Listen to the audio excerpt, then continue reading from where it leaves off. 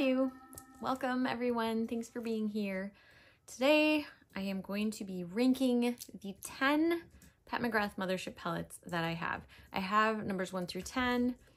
I do not have the 11th one, so that won't be in this ranking um, someday. Someday I am hoping to get that. But for today, I'm going to be ranking the 10 that I do have. And if you have been here before, or if you've been watching past couple weeks, I've actually been doing a mothership palette look a day. So I took each one of these and I did a look with it. I filmed it um, so that I would have these all like super fresh in my mind. I hadn't been using a lot of Pat McGrath lately. Um, and I'm really glad I did this. It was, it was really fun and interesting.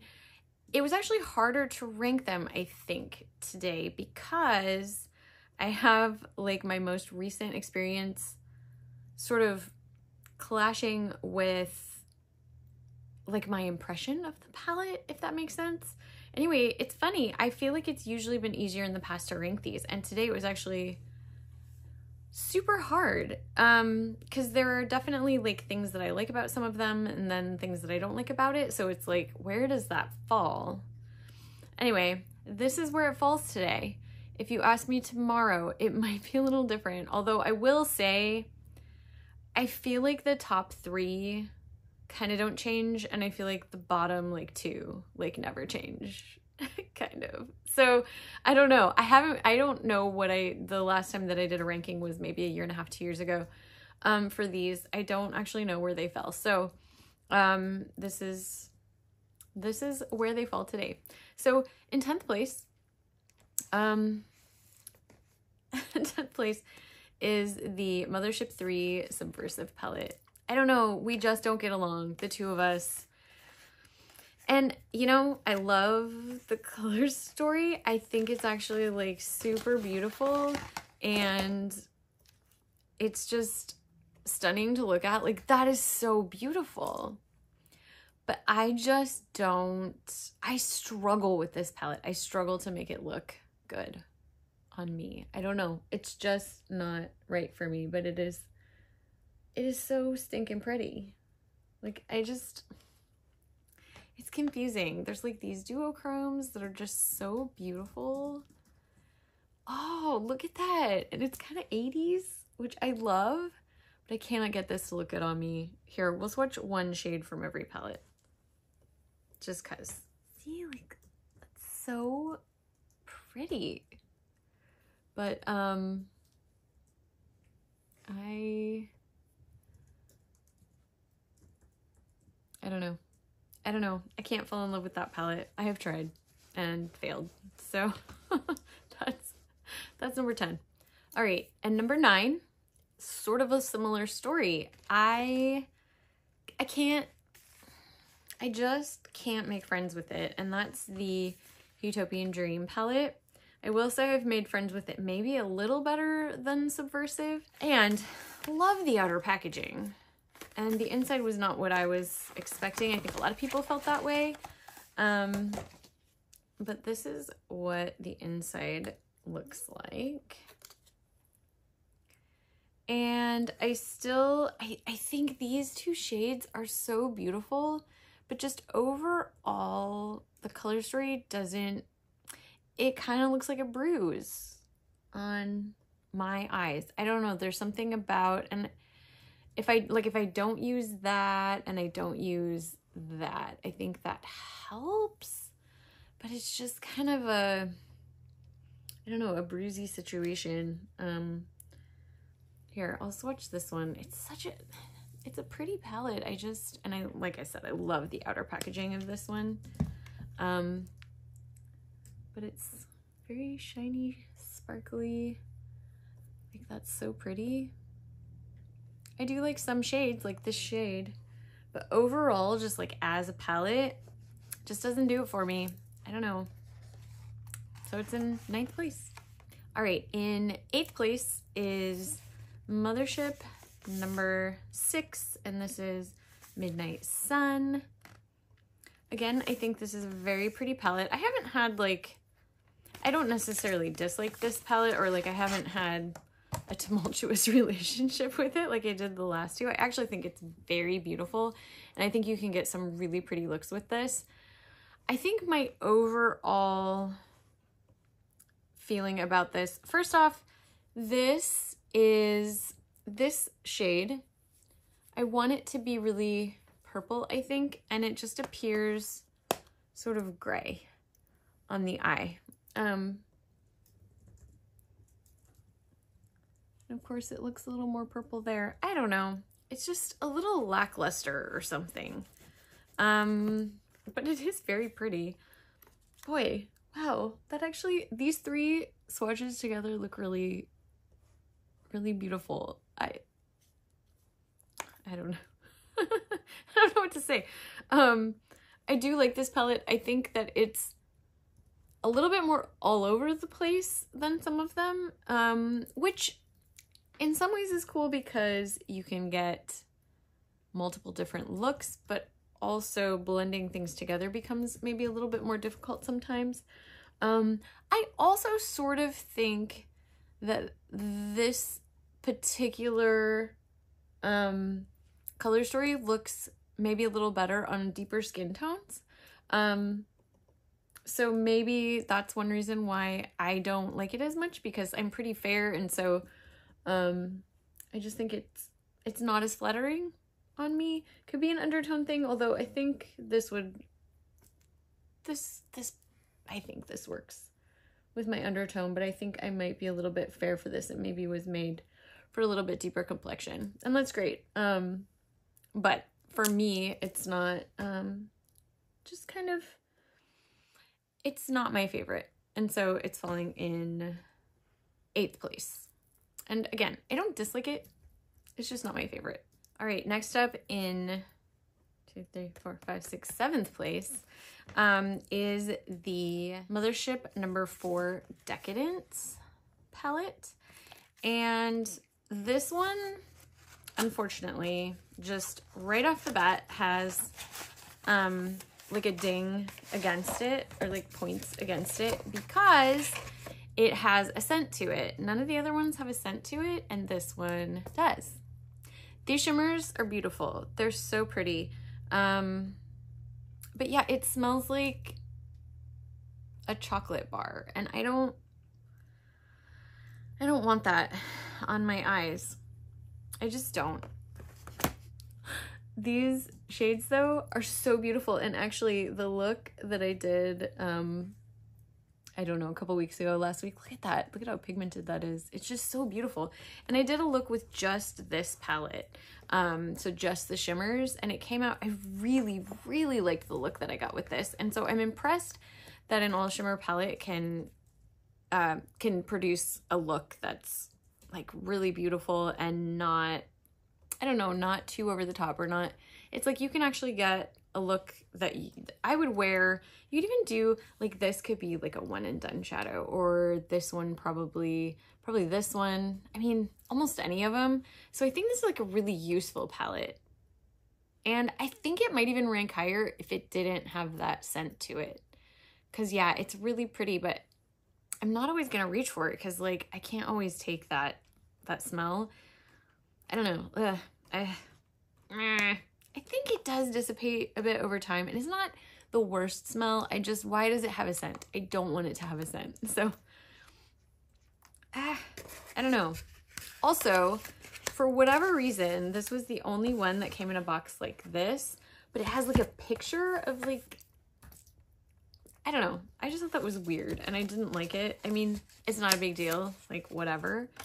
But um, I would definitely, if you can pick this up and you like this color story, like you like colorful eyeshadows, I would recommend this one. Like, it's cool. It's just, it's unique within the motherships and I, I like it. Also, I like the packaging, the crown. I couldn't get it back in the box, so ignore that. But yeah, it's just very, very cool. In sixth place, moving right along, I have the Mothership 8 Divine Rose 2. And I just, this one falls where it does because I think it is very flattering for my particular um, complexion. Looks like this. Um, yeah, I, I don't have much to say about this one. I don't think it's particularly special. I think when it came out, like this shade was supposed to be, you know, like a multi-chrome and honestly I think it just feels more like a duochrome like there's a definite green and a definite magenta but it's just not that exciting especially compared to like the indie shadows that I have you can see sort of the flip there in the green um, it's very shiny so I mean it's okay but compared to some indie shadows mm, that I have, it's just kind of very lackluster. So it's just not that special to me, for me. Also, I think it being like Divine Rose 2, it was sort of in that row of just everything's pink. It was like at the beginning of the just everything was pink. Um, so it's just, it's not that exciting compared to some of the other ones for me. Um, yeah, I don't know. So that one is in sixth place. Okay, and in fifth place, this is the Mothership 1 Subliminal palette.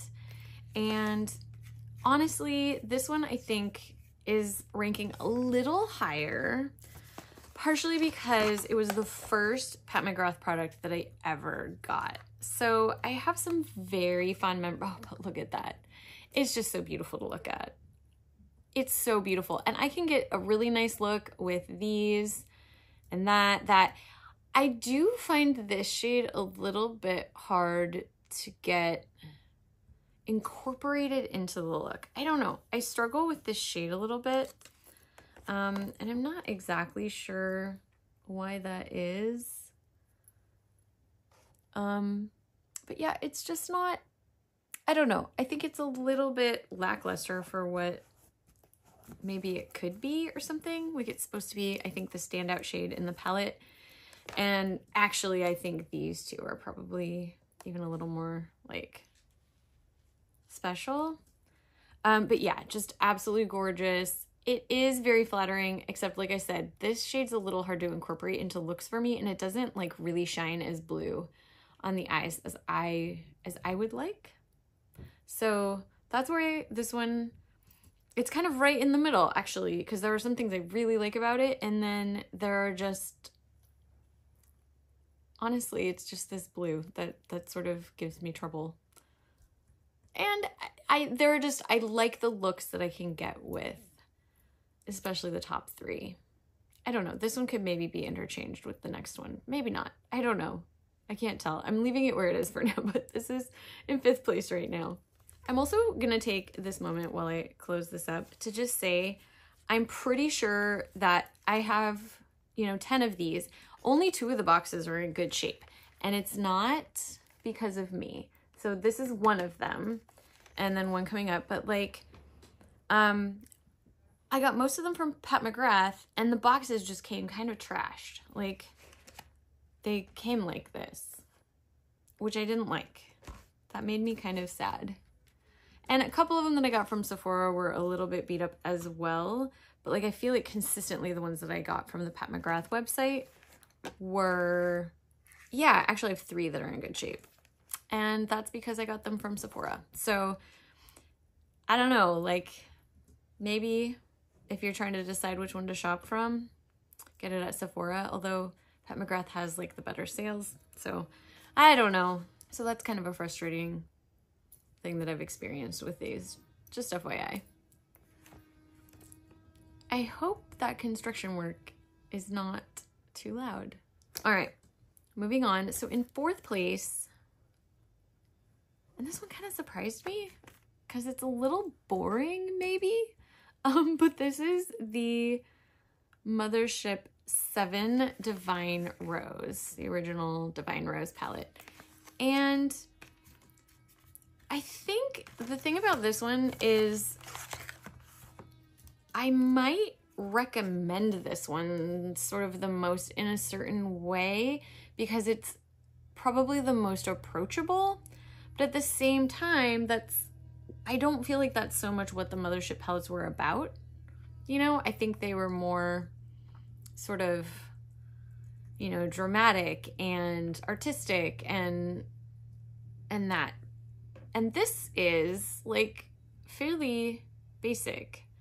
Um, but that said, it's pretty easy to use and it's, you know, it's very pretty in that way. Let's see, which one do we want to swatch?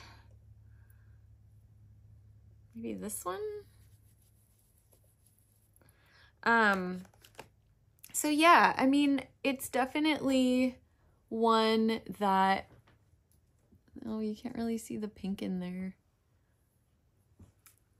It is, this is very cool though. It's like, it shines white like that, but there is this pink reflect that I can't show you for whatever reason. Um, anyways, so yeah, it's beautiful. Um, but in like a more subtle way, which I like that it's wearable. But also it's not scoring super high because a ranking, ah, it's actually pretty high, it's fourth. But it's not at the very top because it's just not as interesting to me. Um, but yeah, some soft, um, pretty looks with this one. Okay, in third place is the Mothership 2 Sublime palette. And I've probably said this every time I've done my rankings, but I wasn't even to buy this one. Like, it didn't interest me. I was like, mm, it's okay. But then I kind of started collecting the motherships and I had a bunch of them by this point. And so I was like, all right. So I just picked it up. Um, maybe there was a sale or something. Anyways, um, it looks like this. And it's funny because when I opened it up, I was like, oh, oh, that's actually extraordinary. Like it's so beautiful. Um this reminds me of the Wizard of Oz, except which makes me very happy, except that what's it's weird because this is green to purple. And I don't sometimes I wish it was just green in a way. It's like a green to purple duochrome, which is very like Wicked Witch of the West to me. But um yeah, ooh, and this is like a pink to gold. I don't know, this palette is just, it's just super flattering. Like if I, if I use this palette, I kind of can't make it look bad on me. So I think that's why it's in third place. I just, every time I use it, it, it turns out very flattering. So there's that green to purple shade. I don't know if you can see the flip at all. Those blues look so pretty. um, anyway, yeah, so this one is just, and you know, this is a little bit silly. I like, and this, this really didn't have a lot to do with the ranking, but I like the old packaging, how everything was different. Everything was unique at first. Um, like, I don't know. I mean, this and then this and then or this was first and then this one and they're like so different. And then the third one was again just like a totally different style and I liked that. And then as the years went on we were getting sort of I don't know they just weren't as unique. I mean whatever. That's not that's not the biggest deal but um and like I said I'm not really even ranking it on it. It's just a comment that I'm sure other people have noticed as well.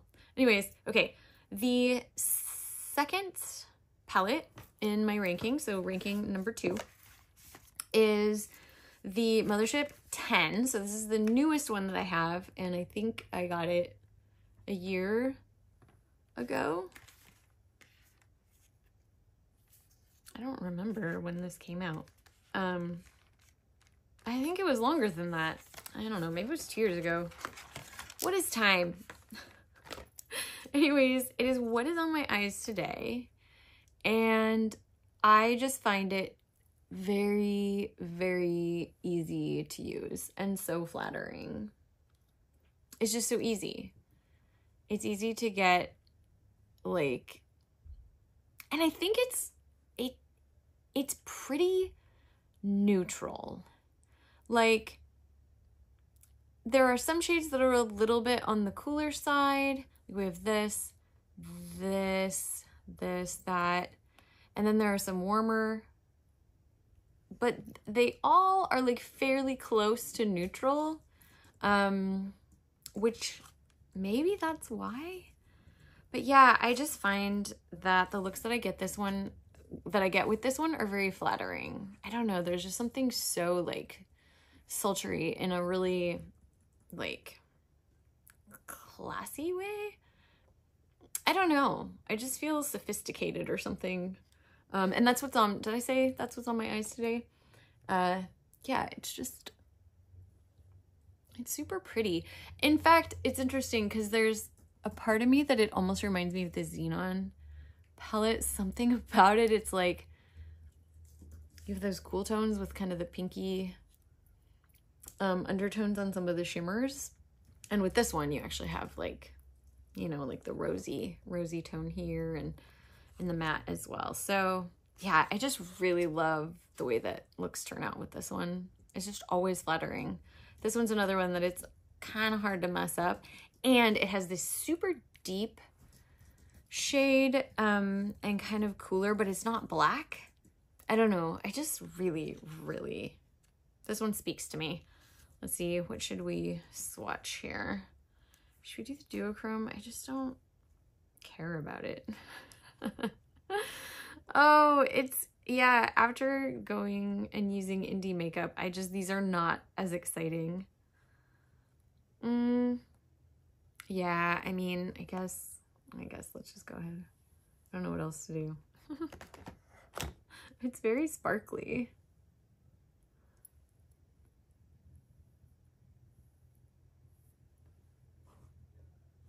So it's shiny. It's pretty.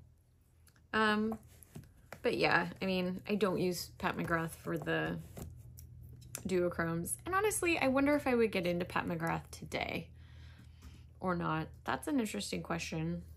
I don't know. I don't know. But now I'm invested. I'm I'm a collector. So, you know. I mean, to be fair, they are good palettes. They're expensive, but um, they are they're quite they're quite beautiful. You can get pretty good pretty good stuff out of them. Okay. And if you know the Pat McGrath palettes, you probably know what's coming next. My number one palette, and I think this has ranked number one before, um, this is Mothership 5 Bronze Seduction. I think this is just so well done. Um, it's it's it's another one just like the last two where I cannot make this look bad. Like if I put this palette on my eyes, I'm going to feel good. Like I can't mess this one up. Um, and I really like that. It's just so, it's so beautiful. Yeah, you just can't mess it up. That's why it's number one. I've also, you know, it's interesting. I think I have seen so many reviews where people have rated ranked this number one. Maybe not recently. Um, and I know this came out, you know, several years ago now. I don't remember. Was it 2019? Maybe? I don't I don't actually know. But I think it won like, you know, the Allure award. Um but yeah, every every shade in here is beautiful. This one, I guess we'll we'll swatch this. I feel like it's it's pretty. It's I don't know. Like I feel like a lot of people have done this shade by this point. Um but that's that's the shade in this one that stands out to me as sort of characterizing the palette, but also I don't know that I always, I don't always use it when I use this palette. It's almost like, I just, I really like that this is the deepest shade, that it's kind of purple. That's always very flattering. Um, yeah, these are, it's all just, it's very beautiful. I think that I've seen this palette on quite a range of um, like complexions and um, like undertones and like range from fair to deep skin tones. So I think this one is pretty universally flattering, although, you know, I can really only speak from my point of view, um, and it does work for me. Um, but yeah, this is not what I'm wearing. I'm looking at my face like, oh, what what else do I want to say about it? But yeah, basically number one, and I've said this like three times now. Um, it's because I cannot mess it up. I put this on my face. It's gonna be attractive. It's gonna be beautiful. So this is just so well curated. The color story is mwah, so good, so beautiful, and the shadows just work really well. It's a good one. They're all good palettes. I will say I am so curious. Okay, this is what I want to know.